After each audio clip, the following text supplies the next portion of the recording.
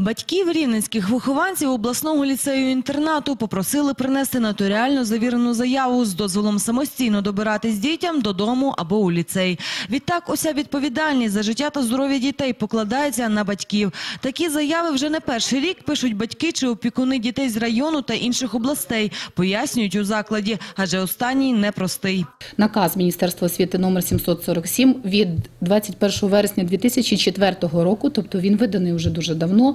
Е, І стаття 4.7 пункт цього наказу говорить про те, що на підставі письмової заяви батьків, які дозволяють своїм дітям, які є вихованцями в інтернатних установ, від'їжджати самостійно додому, то оскільки або на святкові вихідні канікулярні дні, оскільки вони не мають можливості змоги, тому що вони всі працюють, забирати цих дітей. Тому що за пунктом 4.7 ці діти мають бути від'їжджати тільки в супроводі дорослих. Тому заяви просять писати не кожного дня, а на період навчання дитини. Але інтернатна установа передбачає постійне перебування ліцеїстів під наглядом вихователів. І батьки мають право вибору, кажуть юристи. Змушувати людей е, в якісь заяви писати, це ніхто не має права. Це є право людини написати відповідну заяву. Взагалі ці дії, чому вони їх роблять?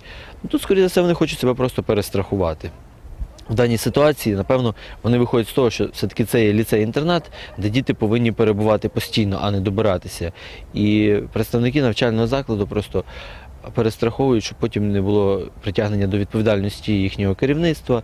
До таких дій керівництво закладу спонукає сурове сьогодення, пояснюють в прокуратурі. Адже почастішали випадки, коли ліцеїсти стають фігурантами неприємних інцидентів. У діях адміністрації ліцею-інтернату нічого протиправного немає. Навпаки, вони стимулюють батьків пильніше виконувати свої обов'язки.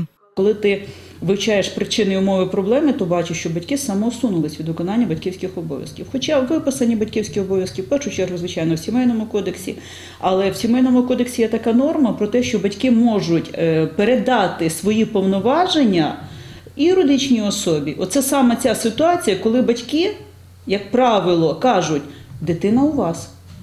Батьки не кажуть, що дитина не моя, а дитина у вас.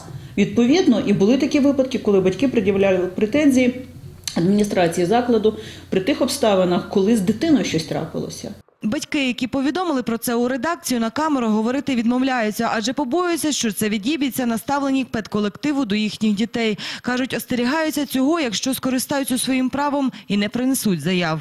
Оля Міхньо, Володимир Захаров. Новини Рівного.